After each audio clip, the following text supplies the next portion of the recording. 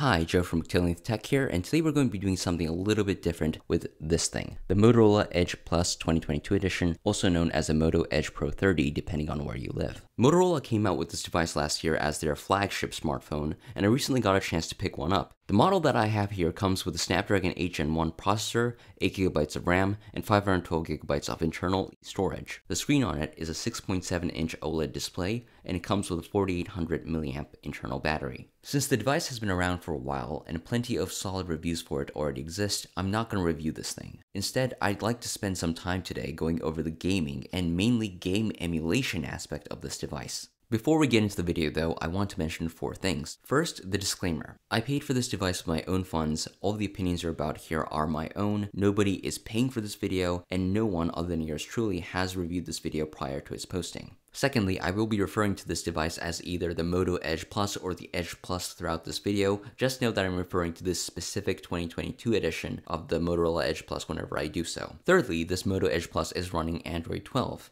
As of recording this video, Motorola is yet to roll out the Android 13 update onto this device. Fourthly, throughout the video, I'll be using this Xbox controller that I have paired with the Moto Edge Plus over Bluetooth. With that out of the way, let's talk gaming on the Moto Edge Plus 2022. Looking at native Android games first, other existing reviews of the Moto Edge Plus have already showcased this aspect of the device, so I'm going to keep this part brief. Here, I'm running the mobile port of GTA San Andreas with visual effects, shadows, and car reflections on max settings, and with traffic mode set to heavy. This is an older port, but entry and mid-tier Android phones still tend to struggle to play this game at max graphical settings. The Edge Plus though is running the game smoothly at these settings without issue. And that's basically native Android gaming on the Moto Edge Plus in a nutshell, which sounds like an overstatement, but this device with this set of specs can handle most Android games that are currently out there and is more than capable of running the popular mobile titles like Fortnite, Genshin Impact, Minecraft, etc., and can run those games at high graphical settings, if not extreme or max graphical settings depending on the game. The Moto Edge Plus can just handle native Android games. Enough said. Moving over to talking emulators on this device, for the sake of time, I'm not going to be going over every older system that I've emulated here, I'm just going to be brief about some of the older systems. I mean, the 8-bit and 16-bit games can be emulated quite well on lower-end entry-level smartphones nowadays, so it's obviously not an issue with the Edge Plus, and it's a similar story for emulating Game Boy Advance, Game Boy Color, etc. Moving up to 3DS emulation. Using RetroArch with the Citra core, I was able to run Garfield Kart, Mario 3D Land, as well as some of the LEGO 3DS games. They all were playable, ran at full speed, and many could be played at 3x or 4x resolution, depending on the game. From what I've seen here, I suspect that the Edge Plus can handle a majority of the 3DS games that are currently compatible with this emulator. Moving over to N64 emulation. For this one, I'm using RetroArch with the Mupen Plus Next core. I tried running some of the usual N64 games on this thing, Wave Race 64, Mario 64, Ocarina of Time, etc., and they all ran at full speed, which was expected. Along with those titles, I also tried running Star Wars Rogue Squadron and GoldenEye 007, which are harder N64 titles to emulate. Both games ran at full speed on this device without any apparent issues.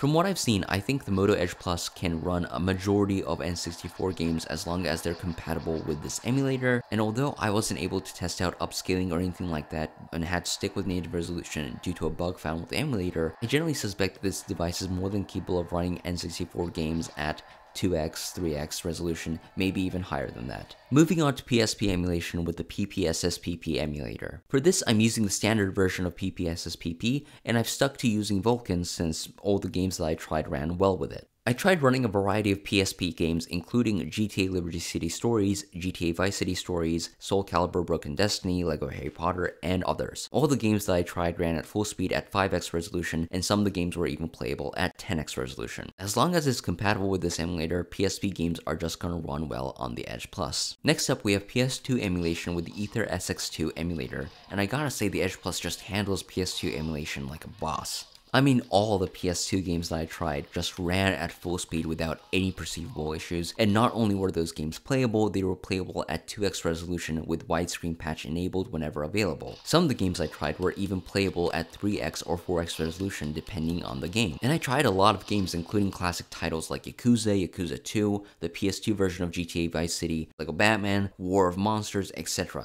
Even tried Shadow of the Colossus, which if I remember correctly is a harder to emulate PS2 title, and it ran stable at 2x resolution. Like, it's just a really good experience. And really, it's a result of a well-made emulator running on a device that has the specs or power needed to get the job done. To be clear, it's not like I tried every PS2 game out there, so I can't say that it can just run every PS2 game, but I will say that the Edge Plus is more than adequate in handling a majority of PS2 titles that are compatible with this emulator. Next up, we have GameCube and Wii emulation using the official Dolphin emulator. Looking at GameCube emulation first. Here we have running Soul Calibur 2 with Vulkan at 2x resolution. Performance is stable and consistent, and gameplay wise, uh, well I suck at this game, so sorry about that.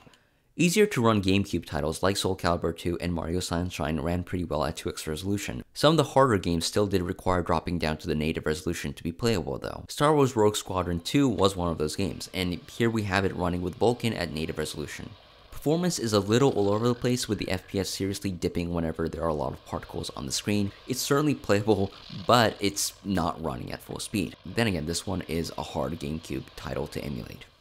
Based on my testing, as long as it's compatible with Dolphin, GameCube emulation works okay on the Edge Plus. But whether or not you'll be able to take advantage of things like 2x resolution, that, that very much depends on the game in question. And it's a similar, if not more mixed case with Wii emulation. Here I have the Wii version of Spider-Man Shattered Dimensions running at native resolution using Vulkan. There is occasional dip in the FPS, but it is a playable experience. I found that Wii emulation is okay on this device as long as you stick to playing games at native resolution. This was certainly the case with Spider-Man Edge of Time and Tekken vs Capcom. There were of course a few lighter Wii games like Mario Bros. Wii and Sonic Color that ran okay at 2x resolution with maybe an occasional lag here and there, but those games were more of an exception than anything. To be clear, I'm not disappointed by this performance and I'm not pointing this out to be seen as a negative. The fact that Wii emulation on smartphone is even possible at this quality is impressive enough if you ask me. So as long as you go into it with tempered expectations and stick to lighter Dolphin compatible Wii games, this device should be pretty good for Wii emulation. And finally, I'm gonna wrap this up with PS Vita emulation with the Vita 3K emulator. And as I record this footage, I am running release 4 of Vita 3K. Now here I have Shovel Knight running at native resolution with default settings, and aside from maybe an occasional graphical glitch, the game is running at playable quality. Moving on to a more graphically complex game, running Catherine Full Body here at native resolution with default settings. The game does seem to be running stable, but there are weird graphical artifacts and occasional lag during gameplay. Not that one should necessarily hold that against the Vita 3K emulator or the Edge Plus. Vita 3K just recently came out on Android in February of 2023 and it's still early days for this emulator. It has a lot of bugs and glitches and there are features and games that just don't work on it right now. At the same time though, Vita 3K is getting updated regularly and in the past two months I have seen the emulator significantly improve with each of these updates. And these improvements have resulted in a better, more stable Vita emulation experience on the Edge Plus. Based on that, I don't think we're that far off from a future where Vita 3K can be used on the Edge Plus to emulate Vita games at full speed without graphical issues or lag. Having gone through all that, it might seem like the Edge Plus is a solid device to get for mobile gaming and emulation, and that assessment wouldn't necessarily be wrong. But I'd be remiss if I didn't mention that this device's overall gaming performance might involve sacrificing the comfort of your fingies. Cause, uh, Holding on to the Edge Plus after an hour or so of gaming often leads me to utter, wow, this thing is hot, and not in the visual sense. Now, to be clear, it's not like the Edge Plus gets hot to the point where the phone is burning you or anything that extreme. It just heats up to the point where it becomes uncomfortable to hold onto for long periods of time. And I understand that we should expect passively cooled phones to heat up during intensive gaming or emulation. It's just that the Edge Plus heats up in a manner that is outside of what I've come to expect with passively cooled devices. Like the Edge Plus gets uncomfortably hot very, very quickly. And there does seem to be an explanation behind this. The Snapdragon 8 Gen 1 chip found in this device is known for heating up very quickly and having thermal issues and being very power hungry. All of which is not ideal for a smartphone and its battery life. And if you just went, wait a minute, did he just say battery life? Yeah, I did notice a huge dip in battery life whenever I did anything intensive gaming or otherwise on the Moto Edge Plus. And similar to what I said about smartphones heating up, it is not necessarily surprising to see battery consumption spike when doing something intense on a smartphone. It's just the degree to which it happens on the Moto Edge Plus does feel a little unusual and it is definitely noticeable. So obviously there are flaws to gaming on the Motorola Edge Plus 2022 edition, and some of these flaws are understandably a deal breaker for certain people. Despite these flaws though, I do still think that the Edge Plus can be worthy of consideration for those interested in a device for mobile gaming and emulation at the right price. At the original MSRP of around $1,000, the Motorola Edge Plus 2022 edition doesn't really make sense for really anyone in 2023, whether we're talking smartphone or just a gaming device. It doesn't make sense. The Moto Edge Plus, though, does get regularly discounted at places like Best Buy for around $500. And at that price point, I can see this device being worth it for some people. Like for anyone in the market right now for a capable tablet or smartphone to use specifically for mobile gaming and emulation, I can see this device being very appealing at the $500 price point. Not to mention, I'm recording this in early April 2023, and Motorola seems to be on track to announce and release a successor to this device soon. And when a successor comes out, it's possible that Best Buy and others will further discount the Motorola Edge Plus 2022 edition to move out inventory. And for less than $500, I think a lot of people will be willing to overlook some of the flaws with this device. Anyway, that's gaming on the Motorola Edge Plus 2022 edition. It isn't the perfect gaming device, far from it, and it does have some flaws that one should be aware of. At the same time though, I still do think that this is a very capable and powerful device. It runs native Android games very well and can be quite impressive in the emulation department too. And that's all I have for you guys today. This one was a bit of an unusual video since I don't usually make videos about gaming or emulation. Uh, this channel is more focused on things like Chromebooks. So if you're not interested in stuff like Chromebooks, then generally don't subscribe, which is a bit of a weird thing to say at the end of the video. But if you found this video informative or entertaining in any way, shape, or form, I would appreciate it if you give this video a like. Thanks for watching.